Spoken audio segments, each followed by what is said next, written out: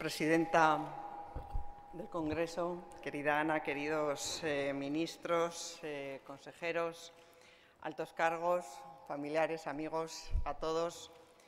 Muy buenos días y muchísimas gracias por estar aquí hoy acompañándonos en un momento que es un momento especialmente importante en la vida de todo ministerio, porque es un momento en el que se inicia una nueva etapa y además una etapa que iniciamos con enorme ilusión y desde luego también con muchísimas y grandes ambiciones.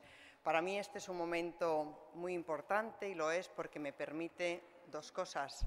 Me permite agradecer y me permite tender la mano, volver a tender la mano. Yo quiero que dentro bueno, pues de lo que es agradecer, mi primer agradecimiento sea para el presidente del Gobierno por volverme a encomendar el dirigir este ministerio, importantísimo ministerio que para mí es mi casa y es también refleja mi vocación de servicio a nuestro país. Y yo trabajaré para estar a la altura de las ambiciones que este Gobierno tiene para España, ambiciones que son muchas. Yo quiero dar las gracias a todos los que trabajáis en este ministerio, a todos. Eh, gracias de corazón, porque gracias a vuestro trabajo hemos podido llegar a donde estamos.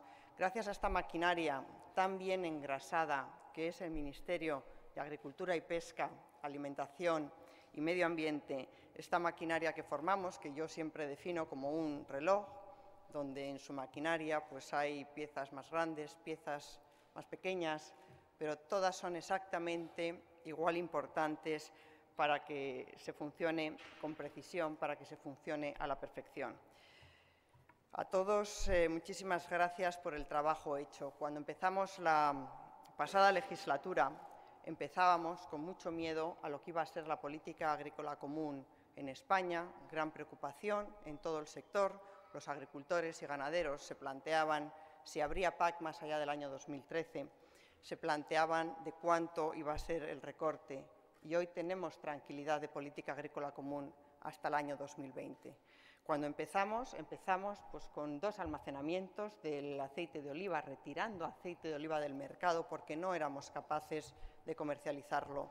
Hoy España supera a Italia en exportaciones de aceite de oliva en Estados Unidos, el gran mercado por todos deseados. Empezamos con un aviso muy serio de la Comisión a nuestro sector pesquero por cómo se estaban haciendo las cosas. Cinco años después, España es ejemplo de pesca responsable, es ejemplo de pesca sostenible y además tenemos más cuotas, más posibilidades de pesca, más rentabilidad para los pescadores españoles. Empezamos con un aviso de la Comisión Europea que España no iba a cumplir con Kioto. Hoy España cumplió con Kioto, pero además sabemos que cumpliremos con el segundo periodo del segundo compromiso internacional en materia de cambio climático, lo que se llama eh, Kioto II, y tenemos una política importante de lucha de cambio climático y estamos preparándonos para estar a la cabeza de la lucha contra el cambio climático a nivel mundial. Empezamos con expedientes sancionadores por parte de la Comisión Europea en materia de agua y hoy tenemos todos los planes hidrológicos de cuenca, hoy tenemos mm, caudales ecológicos definidos en todos los ríos, hoy tenemos reservas fluviales, hoy tenemos definidas las necesidades y los recursos que necesitamos acometer para garantizar el uso del agua en todo el territorio. Y estos son solamente algunos de los muchísimos ejemplos de todo lo que hemos trabajado a lo largo de estos cuatro o cinco años, de todo lo que hemos logrado. Así que yo quiero dar las gracias a todos, en especial a los altos cargos del Ministerio, a todos Gracias por vuestro trabajo, por vuestra dedicación, por vuestro servicio a la construcción de España. Creo muy sinceramente que todos los funcionarios de esta casa, todos y cada uno, deben de sentirse o debéis sentiros tremendamente orgulloso por el trabajo que juntos hemos realizado en este tiempo. Todo lo que se ha logrado se debe a vuestro trabajo y sé que cuento con vuestra vocación, con vuestra dedicación, con vuestra profesionalidad, de la que yo aprendo cada día para seguir llegando cada día un poco más lejos. Quiero también dar las gracias al sector, a todos los interlocutores del Ministerio, muchos de los cuales nos acompañáis aquí, estáis eh, en vuestra casa. Gracias por sentir esta casa como propia, porque lo es. Gracias por vuestro trabajo, gracias por vuestra disposición de estos años. Todo lo que hemos hecho, lo hemos hecho juntos, compartiendo análisis, compartiendo diagnósticos, compartiendo preocupaciones, compartiendo propuestas, soluciones, eh, juntos lo hemos acometido y así seguirá siendo en el futuro. Yo dije en mi primera toma de posesión como ministra que, como había dicho y como abrió en su momento Miguel Arias Cañete las puertas de esta casa de par en par, pues estas puertas siguen abiertas, si cabe todavía un poco más para avanzar juntos, porque yo estoy convencida que esta es la manera de llegar antes y de llegar más lejos, de cumplir con todas las ambiciones que todos tenemos para nuestro país. Quiero también dar las gracias a la prensa, porque la prensa, los medios de comunicación, hacen llegar a los ciudadanos cada día las cuestiones importantes que acontecen en materia alimentaria y también en materia medioambiental. Y quiero, por supuesto, dar las gracias a mi familia por acompañarme hoy y siempre. Gracias por su generosidad, por vuestra generosidad, por vuestra paciencia. En esta legislatura, que, bueno, desde el punto de vista del Gobierno ahora arranca, tenemos muchísimos retos y estos retos yo los afronto con muchísima ilusión y también con enorme sentido de la responsabilidad, sabiendo la importancia que para España tienen. Yo voy a mencionar algunos de ellos, eh, aunque yo, por supuesto, quiero decir también que compareceré lo antes posible en sede parlamentaria para exponer las grandes líneas de actuación. Hoy se inicia en Marrakech la COP22 eh, y se inicia para avanzar en el reto medioambiental más importante que tiene la humanidad, que es la lucha contra el cambio climático. Estar a la cabeza en la lucha contra el cambio climático, transformar la economía española hacia una economía baja en carbono será sin ninguna duda una política esencial de este Ministerio, como lo es el reto de trabajar para llegar a alcanzar un gran pacto nacional del agua que derive en la mejor gestión posible de este importantísimo recurso en nuestro país. Avanzar en economía circular, eh, avanzar en la protección de nuestro rico patrimonio natural y algo que para mí es especialmente importante, que es que el conjunto de la sociedad española, que todos y cada uno de los ciudadanos se sientan partícipes y responsables del medio ambiente español. El medio ambiente es de todos, todos debemos sentirnos implicados en su preservación, en su protección y, por supuesto, también en su mejora. Tendremos que abordar la revisión a medio plazo del marco financiero plurianual de la Unión Europea, del presupuesto comunitario y bueno, pues pelear por que eh, sigan protegidas las políticas que nosotros damos tanta importancia a nivel de gobierno y me refiero fundamentalmente a la política agrícola común. Además, esta legislatura se iniciará el proceso de definición de la futura PAC, de la futura política agrícola común y en este proceso, en esta revisión de la política agrícola común, también el cambio climático estará presente y tendremos que definir entre todos cuál es la PAC, el modelo que mejor se ajuste a las necesidades de nuestro sector agrario, de nuestro sector alimentario. Tenemos que seguir mejorando la competitividad del sector alimentario español. En estos años ha mejorado de manera muy importante, una manera de medir la competitividad del sector agroalimentario español, del sector alimentario español, es medir nuestra presencia en el mundo.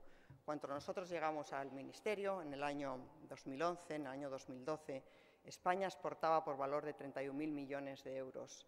Las últimas cifras nos dan unas exportaciones de 45.500 millones de euros. Cada año de estos últimos años aumenta la presencia del sector alimentario español en el mundo, porque somos más competitivos, pero queremos y ambicionamos que esta presencia sea mayor, que aprovechemos todas las oportunidades que los acuerdos comerciales, que el mercado global da para este importantísimo sector español.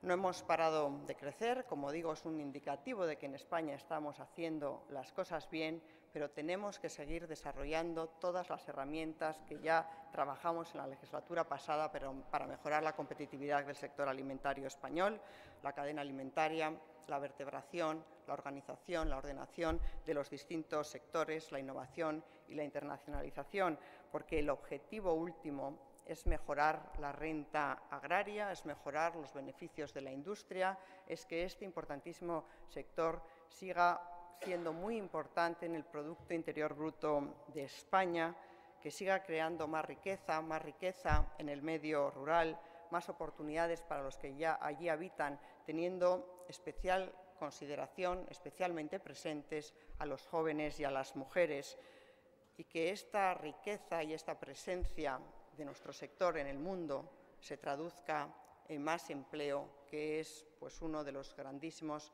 objetivos que este Gobierno tiene para España.